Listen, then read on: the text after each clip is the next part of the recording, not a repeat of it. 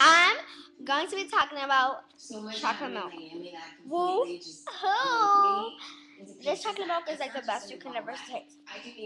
Like it's it's a chocolate drink. It's good source of vitamins and minerals. See?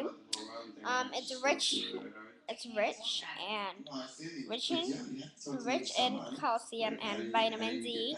What? It tastes awesome.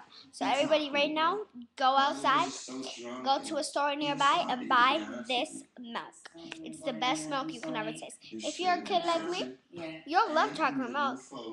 If you're a vegetarian, that's your fault.